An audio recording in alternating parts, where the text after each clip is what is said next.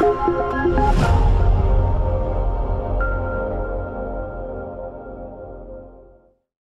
Le telecamere di Synapse News e Napoli News Magazine questa mattina sono qui al Maschio Angioino, Sala dei Baroni, dove è in atto un consiglio comunale incandescente. Le eh, opposizioni hanno annunciato l'arrivo di un notaio per raccogliere le firme di tutti i consiglieri di opposizione, forse qualcuno del gruppo misto, per sfiduciare questa amministrazione. Seguite il servizio. Consiglio comunale abbastanza vivace, stamattina quasi determinante. Cosa sta accadendo consigliere? Stiamo cercando noi di Fratelli d'Italia insieme a tutto il centrodestra di fare un po' di chiarezza e di sgomberare il campo da tante ambiguità che ci sono nella maggioranza del sindaco De Magistris, dove ci sono tanti consiglieri che ormai hanno annunciato di essere passati tra le fila di De Luca e di essere prossimi candidati del centro-sinistra, però poi qui al comune continuano a mantenere l'amministrazione De Magistris. Allora, o è tutta una finta la guerra tra De Luca e De Magistris, oppure se davvero il governatore ritiene che ci sia una cattiva amministrazione qui in città ha il dovere di dare mandato ai suoi consiglieri comunali, quelli che fanno capo alla sua coalizione, di sfiduciare il sindaco di mandarlo a casa. Noi abbiamo provato a uh, contattare un notaio che sarà qui a breve per raccogliere le nostre dimissioni. In caso di 21 dimissioni c'è lo scioglimento automatico del comune e permetteremo ai napoletani di poter votare in contemporanea tra comunali e regionali assieme. Sarebbe una cosa saggia che permetterebbe ai napoletani veramente di poter scegliersi una nuova amministrazione regionale e anche una nuova amministrazione comunale.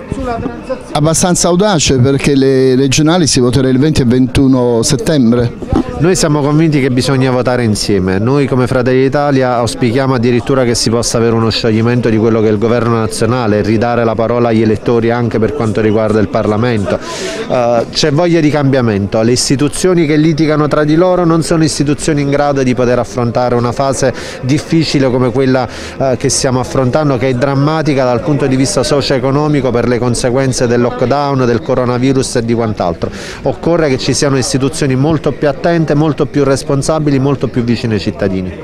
Ultima domanda, lei faceva riferimento a consiglieri passati, passati nelle fila eh, del governatore De Luco, quindi una doppia malagestio oppure un consociativismo occulto?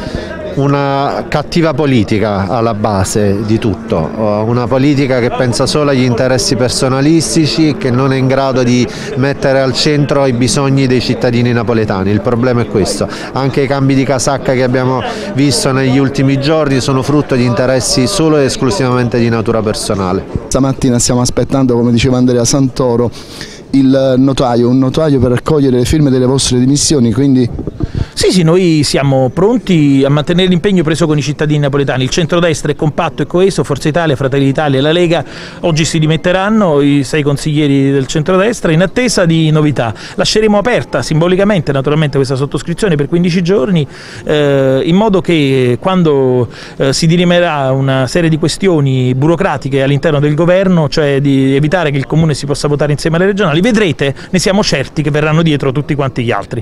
Per noi è un tratto sostanziale il, la bocciatura senza se e senza ma di questa cattiva amministrazione, di questa mala gestio, senza fare calcoli politici. Ecco, quello che diciamo è che Comune e Regione si beccano dalla mattina alla sera, ma poi dopodiché sono d'accordo sulla, uh, sul, sulla gestione del momento politico ed elettorale. Questo abbiamo smascherato e questo dobbiamo far capire ai cittadini. Se volete il cambiamento dovete votare il centrodestra.